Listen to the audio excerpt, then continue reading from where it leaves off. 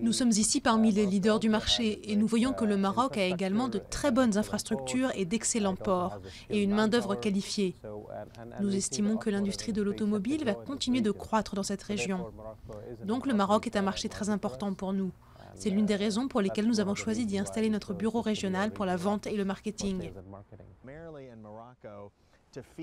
Nous sommes principalement au Maroc pour alimenter en pièces nos installations de production en Europe. La plupart d'entre elles sont situées à Valence en Espagne. Nous doublons le volume des pièces que nous acquérons ici au Maroc pour notre production en Espagne.